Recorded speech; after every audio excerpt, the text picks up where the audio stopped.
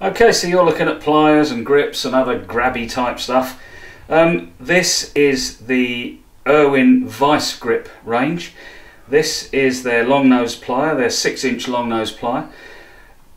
Ever such hard steel, fully fully hardened steel. It has got a special name, I can't remember, but what it means is that regardless of what you're squeezing and however hard you squeeze it, those needle nose, that long nose isn't going to bend and twist and it's still going to maintain a really good grasp on that in this case panel pin, which we can demonstrate using the pliers to hold that in. If I try to do that with my fingers, big chunky builder's fingers, I'm going to end up with bruises all over my body. So the ideal thing for putting in panel pins and a thousand other jobs that long nose pliers are good for.